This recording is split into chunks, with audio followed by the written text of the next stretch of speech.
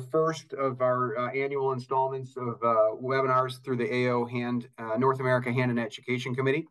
Uh, to this evening's webinar is uh, based on or about scaphoid fractures. I'm Kevin Malone. I'm your moderator and one of your speakers tonight, and I'm here from Cleveland, Ohio. And I am joined tonight by my other panelists, Dr. Blaine Bafus from Metro Health Medical Center in Cleveland, Ohio, and Dr. Sonu Jain, listed here from Ohio State, uh, but since uh, he accepted this invitation, has moved his practice to Cincinnati, University of Cincinnati. So all three of us are uh, from the Buckeye State here. Uh, these are our disclosures uh, for the uh, this evening session, and we don't think that there'll be any conflict of interest that will impact any of the material discussed, and these have all been thoroughly vetted. AO North America is an independent nonprofit surgical specialty society dedicated to improving the care of patients with musculoskeletal injuries. We do not endorse nor promote the use of any specific product or service of commercial entities. And equipment used in this course is for demonstration and teaching purposes with the intent to enhance the learning experience. The webinar, this webinar aims to strengthen existing diagnostic and treatment pathways while examining recent literature, the goal is to empower participants to formulate effective treatment plans for patients with scaphoid fractures. And our objectives are the following. Uh, at the end of this presentation, you will be able to order the appropriate imaging studies to accurately determine if a scaphoid fracture is present and if there is displacement that would benefit from surgical intervention, to discuss the risks and benefits of operative and non-operative management of non-displaced scaphoid fractures with the patients such that shared decision making can occur in the development of a treatment plan. You will be able to develop an appropriate surgical plan for acute fractures and fractures with non-union, and I'd also identify which patients and clinical scenarios would benefit from salvage procedures rather than attempted scaphoid repair or reconstruction. Here's our agenda for this evening. Dr. Bafus will talk to us about the evaluation of patients with suspected scaphoid fractures, I will then discuss management of the acute scaphoid fracture, followed by Dr. Jain discussing management of the scaphoid non-union. And we should have some time for question and answer and discussion before we adjourn.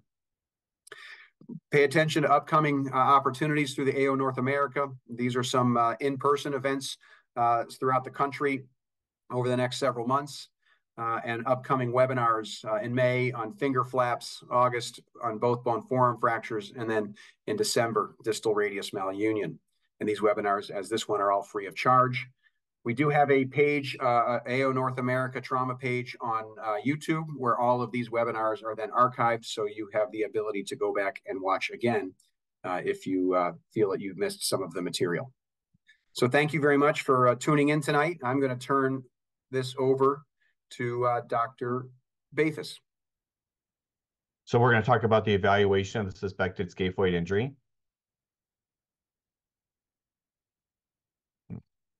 These are my disclosures. The objectives, we're going to explain the vascular anatomy of the scaphoid, list two benefits of early MRI for wrist pain, and list two risks of early MRI for wrist pain.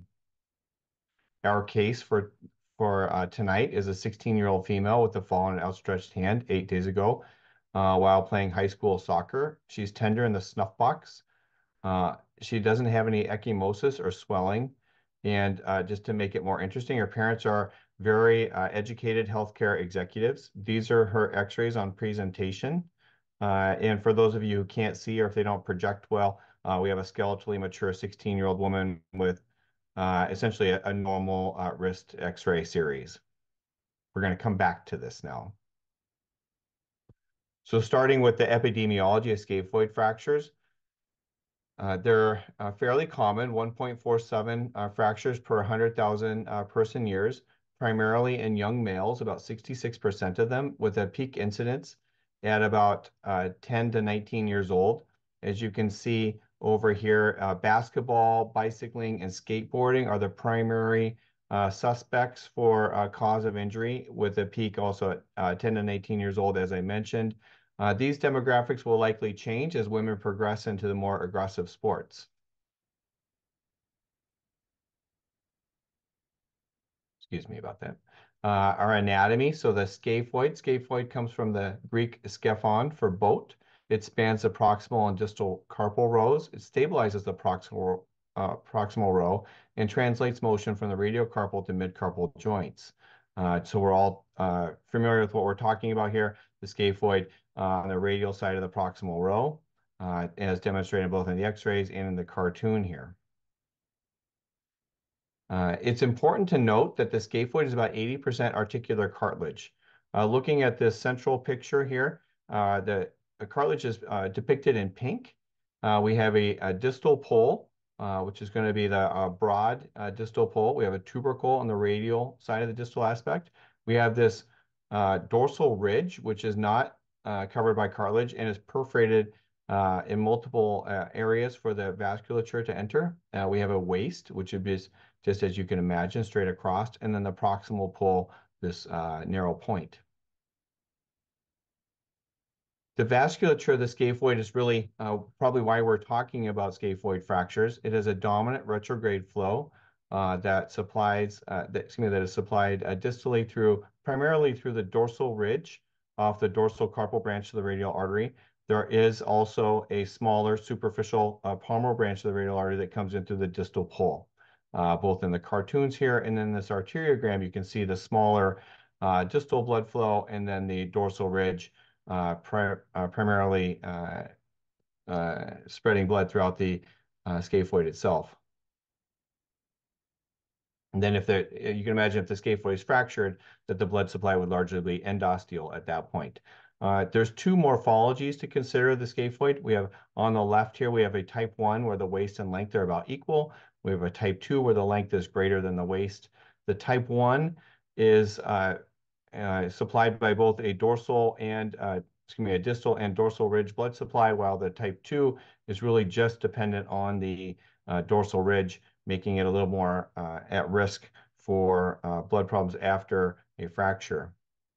The mechanism of injury, as Netter's described here, it's a fall on an outstretched hand, but more than that, uh, it's really a fall on the thenar eminence with the hand pronated. You can imagine leaning back on, falling off your skateboard or such, uh, landing right on the thumb uh, base and then fracturing the scaphoid. Our physical examination, obviously we're going to start off with an inspection looking for uh, ecchymosis, swelling, or deformity that might lead us to suspect one injury over another. Checking sensation. Uh, you can run into issues with the median nerve if you land on it. You can have acute, acute carpal tunnel syndrome or just simply a contused nerve. Uh, we're going to palpate the snuff box as demonstrated on the left. So just distal to the radial styloid and at the base of the thumb. And we're going to uh, extend the wrist and palpate just beyond the uh, volar rim of the radius and compress the uh, scaphoid tubercle, and then a longitudinal compression of the scaphoid along the thumb. Once we've done that, we're going to get some imaging. First line imaging would be x-rays. We're going to start off with the PA, uh, and then we'll get a lateral, excuse me, a, an oblique view, uh, about 30 degrees pronated, uh, a lateral view, and then a, a PA and ulnar deviation trying to accentuate the scaphoid. This may also elicit any uh, intercarpal ligament disruptions. Uh, X-rays can be negative uh, or normal in the initial uh, 10 to 15 percent of 10 to 15 percent of patients with fractures. Here's just some clinical photos of those X-rays. Uh, again, a PA, oblique, and lateral, and then the scaphoid view. If negative, uh, generally we want to repeat these in 10 to 14 days uh, looking for resorptive changes that may uh, make the fracture more evident. So once you've got your x-rays, uh, this is really why we're talking, you're at a decision point with whether or not to do any ad additional imaging, pursue a CT scan or an MRI or uh, splinting. And so a CT scan can be useful if an MRI is not available or contraindicated. They're generally very easy to obtain. Uh, unfortunately, depending on what source you're looking at, uh, the uh, kappa value or the inter-observer reliability is uh, moderate, uh, and that uh, scaphoid CT is good at negative, excuse me, it has a good negative predictive value, meaning it can rule out fractures with a, a 0.99, but it's not so good at ruling them in. reformatting along the axis of the scaphoid may improve that negative predictive value. Again, the numbers are difficult because they're kind of all over depending on the source which takes us to an MRI. So MRI is also very well researched. uh, to the point that the American College of Radiology has a position on it that if initial radiographs are normal, you have a, a decision uh, point where you can either do a cast or splint and repeat x-rays at 10 to 14 days or an early MRI. Uh, MRI sensitivity is excellent, approaching 100%, while specificity also approaches 100%, uh, 95 to 100%, uh, depending on your source, with a high interobserver reliability. Uh, MRI is the advantage of an MRI. It can prevent unnecessary mobilization in up to three quarters of suspected fractures. An MRI costs the same uh, as casting, a second visit, or repeat MRI, excuse me, and repeat MRIs.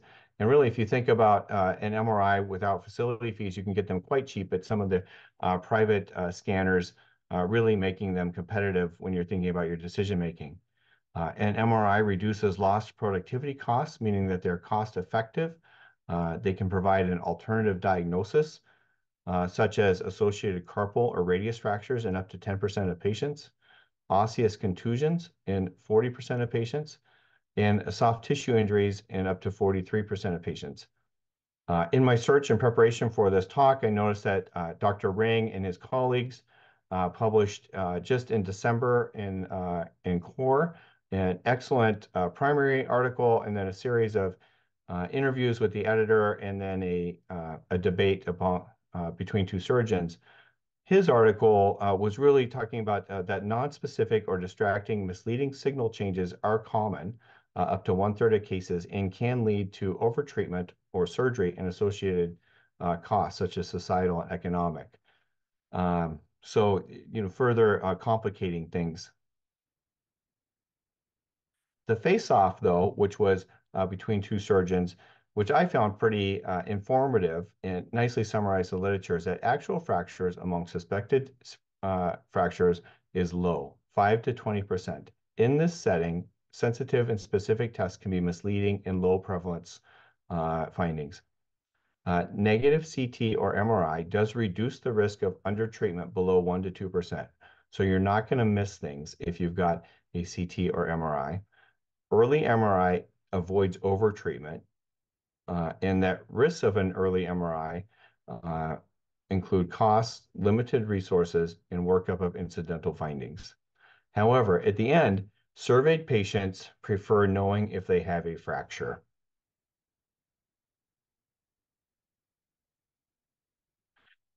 The fracture classification used for scaphoid fractures, and the AO uses the uh, traditional Herbert classification.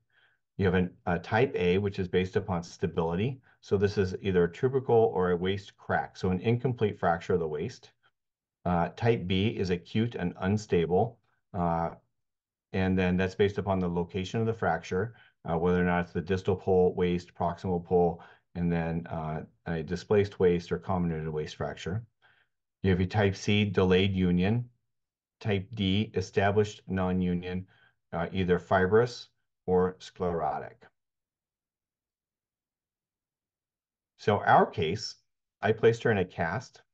Um, an MRI of the wrist was ordered. She returned back in about uh, eight days after the study was done uh, to review her MRI.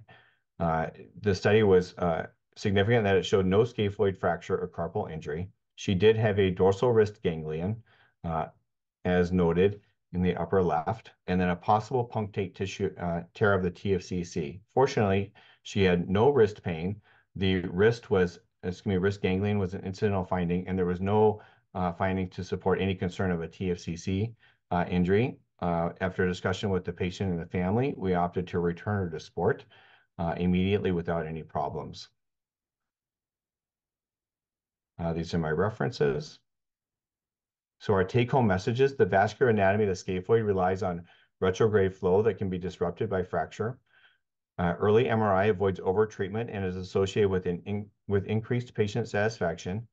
Early MRI uh, risk subjecting the patient to unnecessary costs and further workup of incidental findings. Thank you. Todd, thanks so much. we do have a question in your preparation certainly CT and MRI are some of the more commonly uh, regarded studies when evaluating for an occult scaphoid fracture. Uh, what about bone scan? Uh, and and you know of of bone scan, CT, MRI, if you had to pick one, You know, which what, what are you going to pick? For, so for I would specific diagnosis. That's a, a great question. Uh, bone scan. I I'll be honest with you. I let me turn my video here. I had actually forgotten about bone scan because it's been so long since I thought about it as an option that I was this study uh, kind of prepared me or refreshed that. It is an excellent study. Uh, they're not easily obtained. Uh, and so an MRI is definitely, I think, the way to go with the high sensitivity and specificity. Additionally, obtaining, you know, the information that it, maybe there's uh, a contusion or a SL injury or something that that you'd want to know about. Perfect. Thanks so much. Okay, so we'll move on to the uh, management of the acute scaphoid fracture.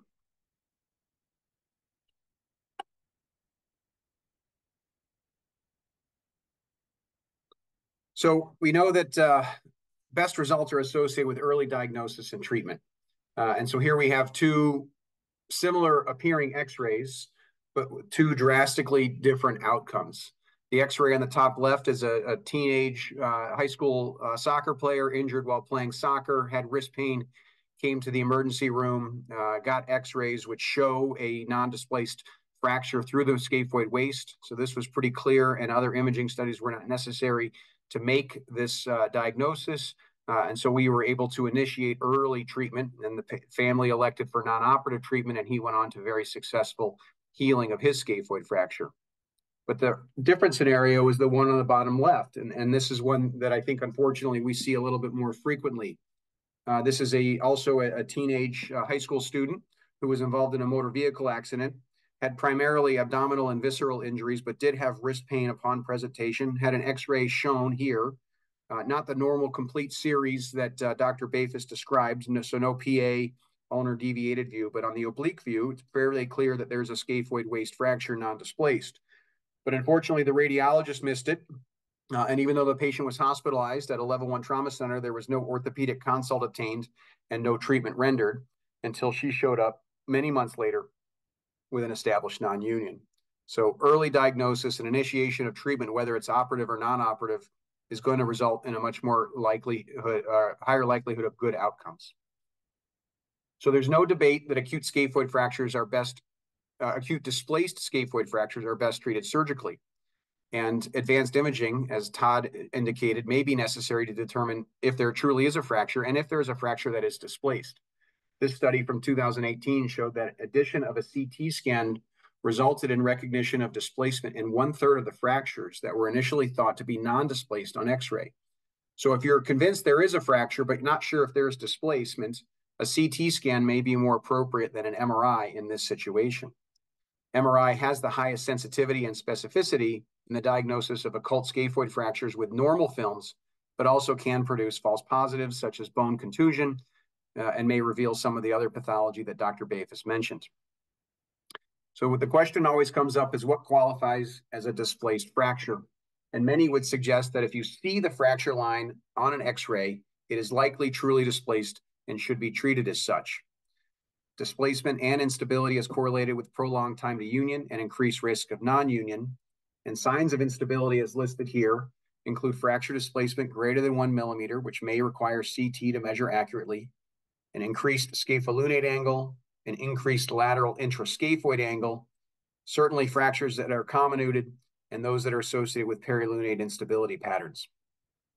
A fracture of the scaphoid with a concomitant scapholunate interosseous ligament is inherently more unstable than an otherwise non-displaced fracture.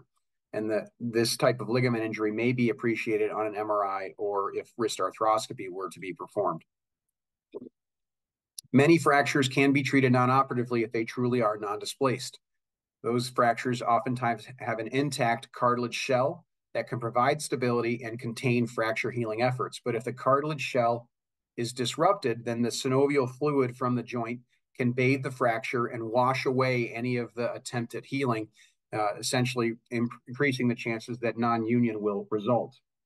But many studies published uh, show results of greater than 90% success with non-operative management of non-displaced scaphoid fractures. Historically, this was treated in a long arm thumb spica cast for perhaps three weeks and then transitioned to a short arm thumb spica cast but more recent studies have shown that short arm cast immobilization without incorporation of the thumb may have a higher union rate than incorporation of the thumb. Because of the vascularity issues that Dr. Bafus mentioned, these fractures do take a long time to heal and may require also prolonged immobilization. So it is estimated that in many cases, approximately 12 weeks of cast immobilization may be necessary for a non-displaced scaphoid waist fracture to heal. So because of all of this, there certainly is a role to consider operative management for these non-displaced fractures. In the right patient with early initiation of cast immobilization for non-displaced scaphoid fractures compared to surgical treatment, Tate and his uh, colleagues in 2016 found no difference in union rates, no difference in pinch or grip strength, increased wrist range of motion in the non-operative management group, decreased radiographic evidence of arthritis, decreased complication rate, decreased direct costs, but a slower return to work in athletics and an increased indirect cost, which essentially translates into time away from work and lost productivity. For those that are going to be managed operatively, the gold standard is compression screw stabilization. This can be approached through a volar approach, which may make it easier to image the scaphoid, but you do have to deal with the trapezium. The volar lip of the trapezium, if not addressed, will cause you to uh, aim your, or have to start your scaphoid screw more, much more volarly on the tubercle, which will then direct your screw more dorsally as it crosses the fracture, and you'll have a smaller uh, area of the proximal pole engaged and a higher likelihood of penetration. So excision of the scaphoid, or excuse me, the trapezium volar lip will give you a more direct route to the central axis of the scaphoid.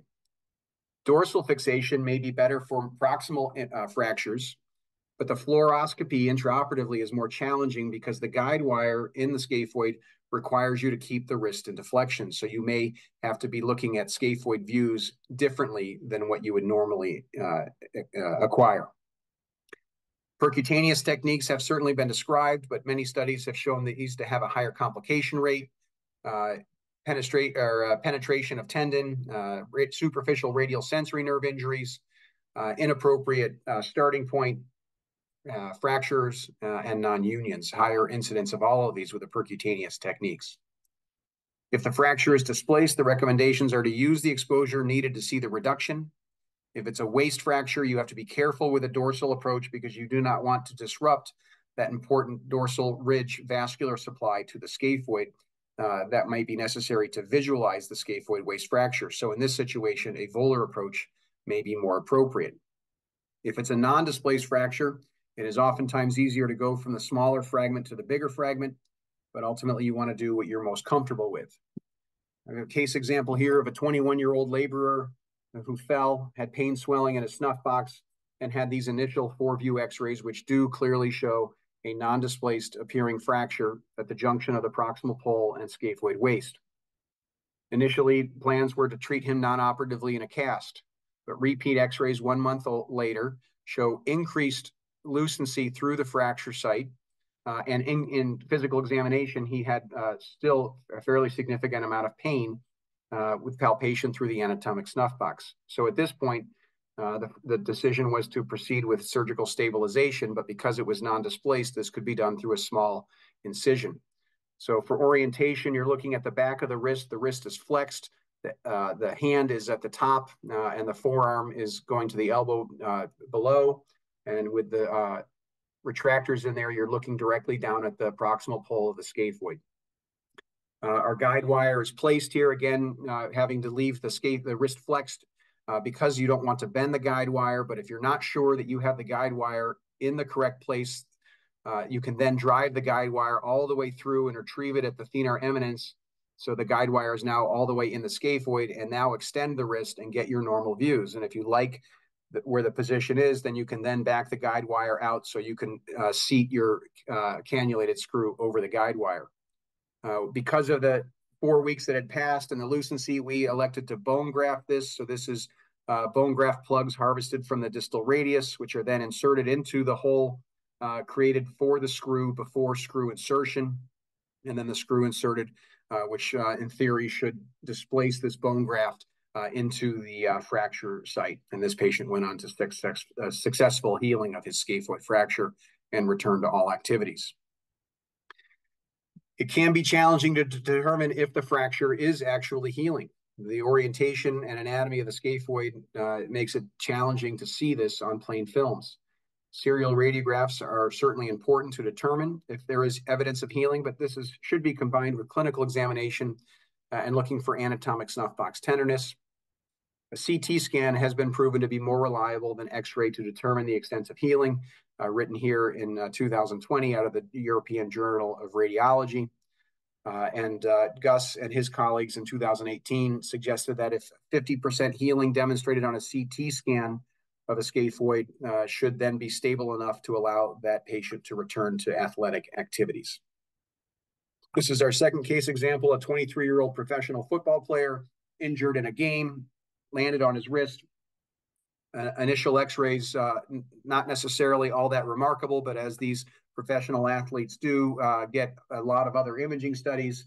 MRI and CT scan both clearly show evidence of an acute non-displaced scaphoid fracture. Uh, and so he was treated uh, with the same small, minimally uh, invasive dorsal incision and insertion of a screw. here he is with x-rays one month later and CT scans one month later showing good healing across the fracture, and he was cleared to return uh, to uh, practice and games. So topics for further discussion with acute scaphoid fractures, but perhaps more appropriate for the non-union discussion with Dr. Jain uh, are alternative constructs. Uh, you'll see articles now looking at dual compression screws in, uh, instead of one, one single screw. The use of uh, locking plates for the scaphoids are becoming a little bit more popular again for non-unions. And then adjunctive treatments such as the use of bone stimulators uh, and perhaps we'll learn more about that with Dr. Jain's presentation to follow. So in summary, early diagnosis and initiation of treatment are key to good outcomes with scaphoid fractures. CT scans may be necessary to determine if displacement is present. Uh, non-operative management of truly non-displaced fractures have an excellent union rate, but this can take a long time to heal in a cast. Surgery for these fractures is associated with higher direct costs lower in lower indirect costs, sorry, that should be indirect, and a potential for earlier return to work in sports. And all displaced and unstable fractures are indicated for surgery. The gold standard is a headless cannulated compression screw, and the surgical approach is dependent on fracture pattern and the surgeon preference. Thank you very much. Any questions to, to go over here, guys?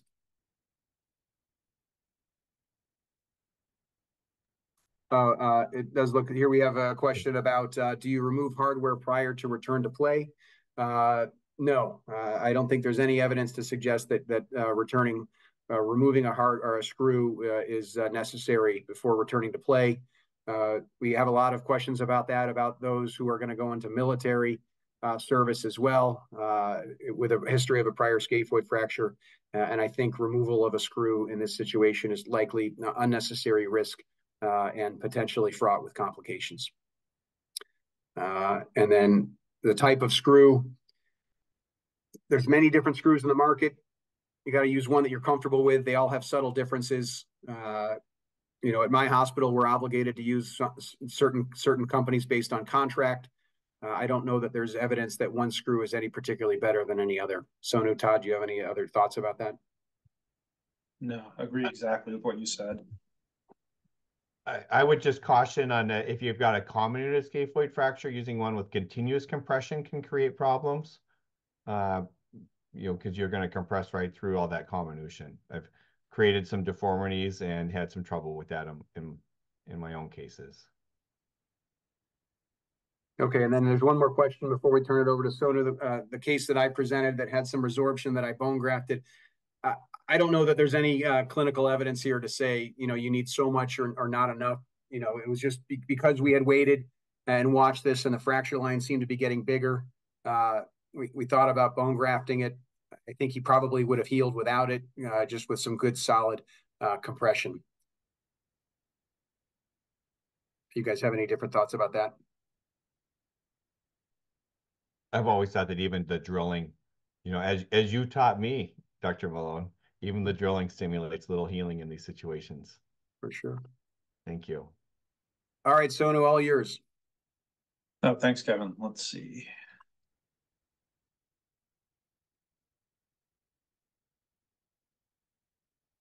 Okay.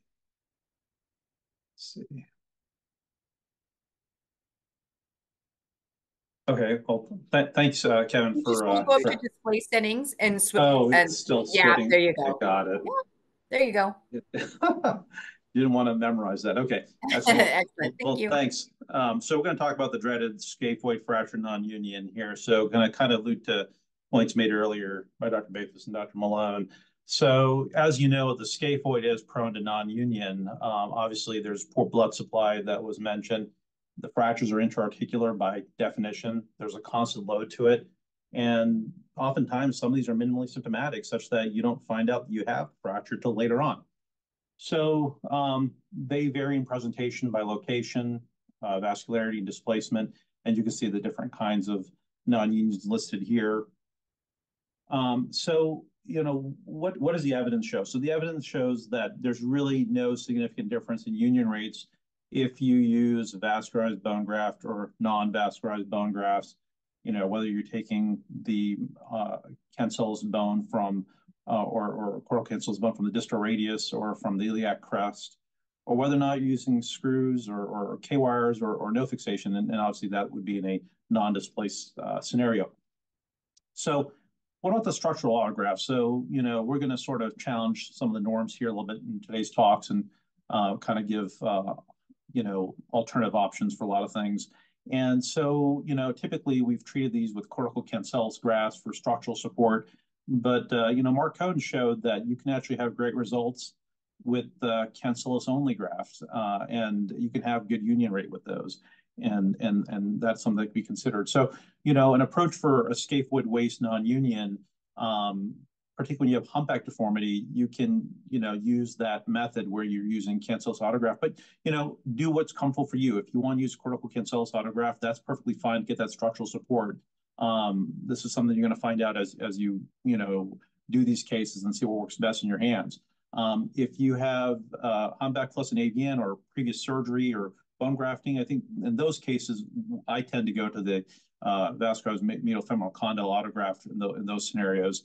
Um, and if you have an alignment where the, the shell is not really disrupted and you have a stable non-union, um, then you can actually do what Dr. Mullen talked about. You can actually do the same technique and do a percutaneous uh, uh, bone grafting technique where you can, and I'll, we'll show you that. Um, so if you have a proximal pole, no AVN, you can still do that perc or mini open with cancellous bone grafting. And if you do have AVN, you want to maybe consider vascularized bone graft, whether it's pedicled or or, or a, a free uh, graft. So um, we're going to go over a series of cases here. Um, first one here is a 27-year-old female uh, non-smoker uh, injured her wrist uh, about a year prior to presentation, um, has pain, stiffness, and the initial x-rays were negative and or, or red is negative. That's the common common theme uh, you've been hearing tonight. Um, so as you can see here, um, these are the x-rays and courtesy this uh, case is courtesy one of my one of my partners, uh, Dr. Juan. Um, and so you have this established non-union here, and you see the sclerosis and, and cystic change, and uh, you can see the main the uh, scaphoid alignment being maintained, and there's no real DISI deformity. So what, what are the options here? You can, you know, you heard all the different uh, options earlier. It, it, definitely applies here as well for um, the non-unions. Can you just put a screw across this alone? Should I go volar or dorsal? Should I open this up or go percutaneously? Should I put a vascularized or non-vascularized bone graft? You know, cancellous or cortical cancellous graft. I mean, you have a lot of choices here.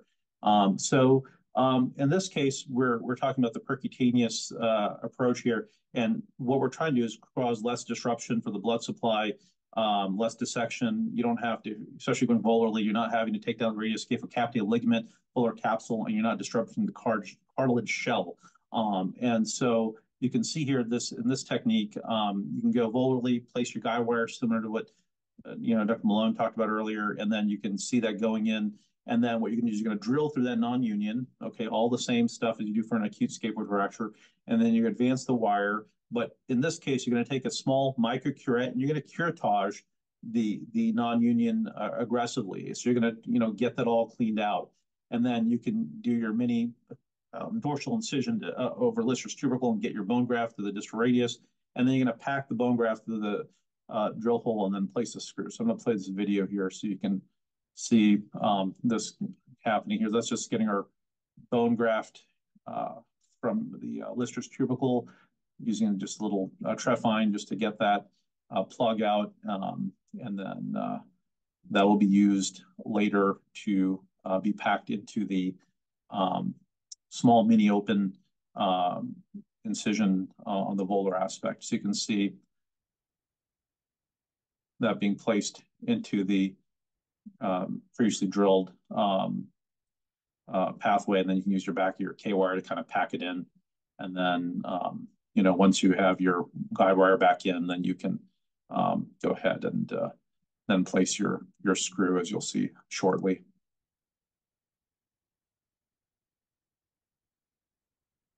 So obviously measure your, your screw length, and then that's being placed there, and that's pretty much it. So, um, so as you can see, post-op, that's what that looks like.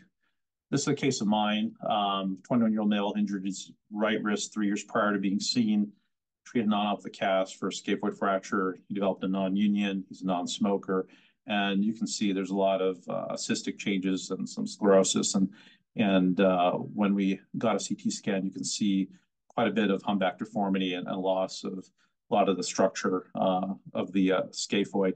Um, in this case, I actually did a medial condyle uh, graft here for getting um, vascularity as well as structural support.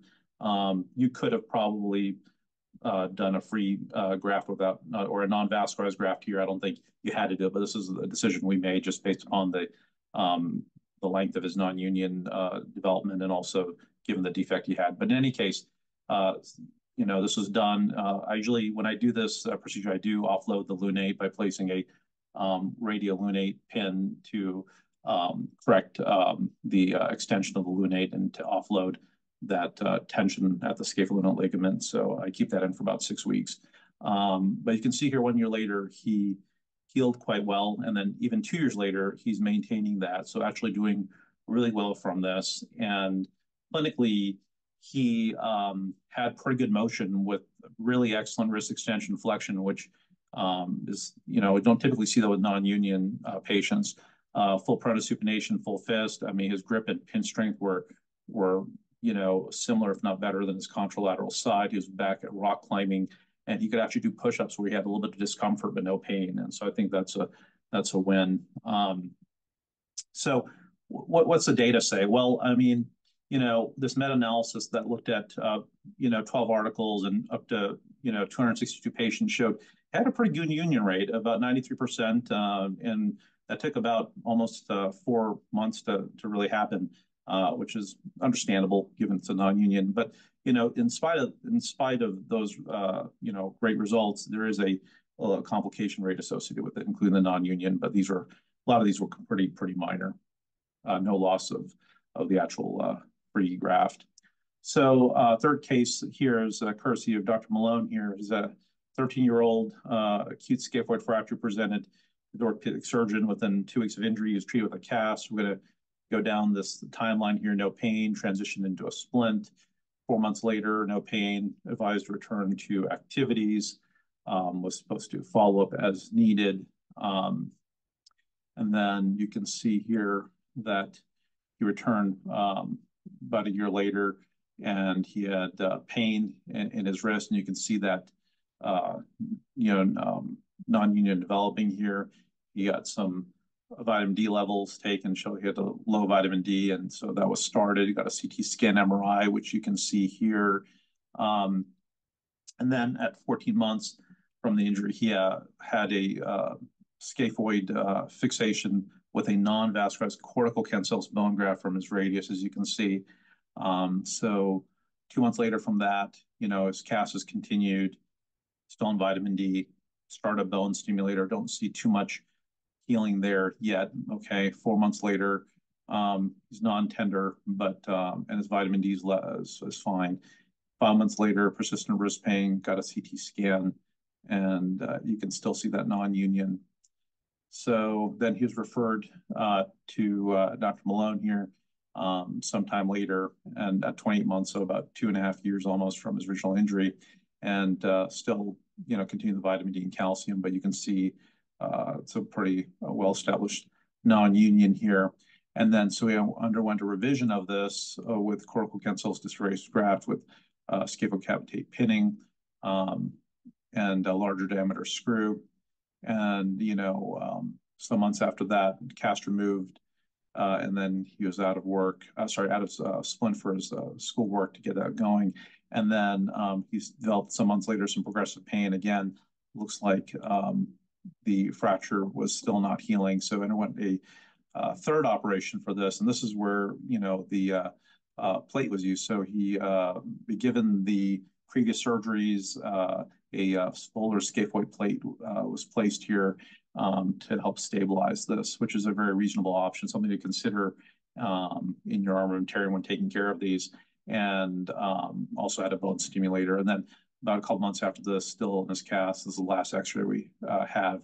But uh, the, so far, no hardware failure, and uh, it's uh, uh, keeping everything out to positional length. Um, so we'll see how he does with that. So what what's the data on scaphoid plating? Well, um, so study out of um, the Bone and Joint Journal looked at 49 patients with a pretty good follow-up of over three years, and it showed, you know, 96% union rate with with CT scan confirmation, and actually also showed great, uh, you know, improvement in range of motion and grip strength, uh, strength from the pre-op, which was statistically significant.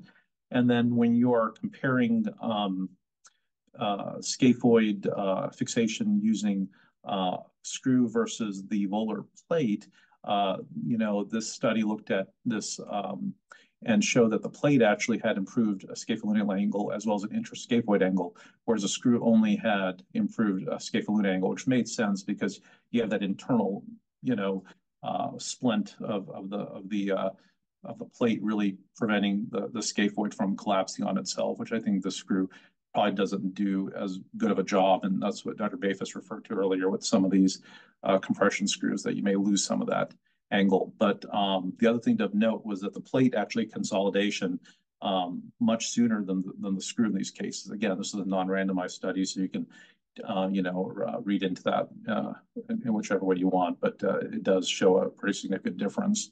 Um, so what's the bad on the scaphoid plane? Well, you know, this other study out of Journal Hand Surgery showed uh, out of 15 patients that, you know, you had a lot of complications where you really had decreased range of motion grip strength the contralateral side. As you can see, you had four patients out of the 15 with hardware failure, screw, uh, sorry, plate fracture and screws uh, backing out, six patients with radial styloid impingement with the plate, and, five of these patients, so one third requiring hardware removal. Um, and the union rate was similar to other fixations, so just had a higher complication. So, you know, again, the, the jury's out on this. Um, so the other technique that we're going to talk about is the double screw fixation, which I think some people are starting to do more and more of. Um, and this study uh, showed that um, you actually got pretty good uh, union at about two and a half months. And in fact, out of these 21 patients, 14 of them actually healed at eight weeks without hardware failure and also had similar improved range of motion and grip strength. And, the authors here felt it was an effective treatment uh, and, and scaphoid non-union surgery. Um, so what are the biomechanics? What, what does that show? Well, um, the study at Journal Hand Surgery showed out of 28 cadaveric scaphoids, if you place two screws parallel in the coronal plane versus in the uh, sagittal plane, it actually showed no difference. So the thought is you can just place these screws wherever you want to place. There's no rhyme or reason. So I think you can feel comfortable doing that if you're going to go for double screw fixation. Um, and then um, if you're going to look at single versus uh, dual headless compression screws, this uh, study out of uh, the Hand Journal showed that even though the double screw um, uh, construct maintained rotational stability, there was no significant difference in load to failure. So um, that was found at least in the cadaveric model here. So um, when we go to the bone stimulator here, so this is hard because there's not much data in terms of scaphoid. Um, so um, what we did find is that uh, this uh, you know, article out, out of PRS Go by, by Kevin Chung showed that um, you know uh, bone stimulators are fairly underutilized um, in, in, the population. Um, and used less than 2% of the time in both operative and non-operative patients based on this claims database search that they did. Um, and then when you're trying to look at uh, effectiveness here, um, a lot of the data is on long bones, but uh, you know the applicability of that to scaphoids is still you know hard to determine because this study, even though looked at 62 patients prospectively for upper and lower extremity fractures and they were followed for six months, of the five scaphoids they had that were non-unions, none had healed with the bone stimulator. So you know again, I don't think this should uh, you know push you one way or the other. It's just that we don't have clear data for scaphoids for using you know, uh, bone stimulators. So, but I think a lot of us still use it because I think, um, you know, what we found with other bones and also with we really want to throw everything we can to get the scaphoid to heal because the consequences of a non-healed scaphoid are, are, are, are, not good. So this is a nice little summary of uh, surgical techniques for scaphoid non-union. I won't go over all the details, but um, this is out of the Journal American Academy of Orthopedic Surgeons here. Um, but it really kind of re summarizes the different uh, options you have and, and, the pros and the cons. So uh, it did, um, you know, cover most of what we talked about. We did not cover staples. That's another uh, new and upcoming way to sort of uh, fix uh, scaphoids as well, but uh, there's a cost to it as well. And again, you have to worry about the implant um, impingement that could happen with that. And uh, so summarizing uh, non-union treatment. So in the waist, stable non-union, you can consider percutaneous bone grafting if you want to. Um, for humpback, you can do an ORIF with cancellous hysteresis graft or coracoid cancellous graft. Uh, with AVN and humpback deformity, consider a vascularized, uh, you know, MFC in, in that case. Um, for proximal poles, uh, if there's no AVN, you can do an ORIF with a cancellous hysteresis bone graft. But if there's AVN, you can consider um, you know, a pedicled or even a medial femoral, femoral trochlea uh, graft. And again, we're not going into detail uh, about that on, on this uh, talk. And that is it. Thanks. Thanks, Sonu. So a couple questions here from the audience. At what time point do you think a fracture becomes a non-union? As opposed to, you know, that when is a non-union a non-union as opposed to just still an acute fracture, you would treat it differently. I would just say about four to six months in my. Yeah, I think I think that's about what I was going to say too. Um, and then you know we we didn't really get into it for time constraints, but you know the salvage procedure. You know if you have a you've you've done all these things and you still have this unhealed scaphoid, which I might be looking at with that uh, scaphoid plate. You know, what what are your th your thoughts, Todd and Sonu, on on how to how to manage the patient? What do you do then? Uh, simple excision of the distal scaphoid, or are you going to do some other salvage procedure? Assuming that we haven't headed into a SNAC wrist and it's just a scaphoid, uh, yeah, I really got to take the patient into consideration. What are their goals? How many more procedures are they willing to do? Um, I have done distal scaphoid excision and just seeing how it went. I mean, your other option would be, I mean, just to take it out and head to a four corner, depending on their age. I think those are all, you know, you, you can't make just a rope decision. It's got to be a lot of other factors, uh, you know, what the rest of the wrist looks like, what their age, their physical demands are. Uh, are they a smoker? If they're a smoker, you, you know, you, you might not be uh, willing to be, be willing to consider a mid-carpal fusion. It might sway someone more towards a proximal row carpectomy, particularly if they're a little bit older. Uh, and then another question here is uh, how long do you immobilize after your non-unions?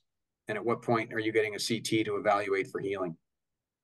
Do you routinely get CT, Sonu, to evaluate for healing? For non-unions, I do. For um, acute scaphoids, I don't necessarily. Yeah. And, and how long are you immobilizing your non-unions?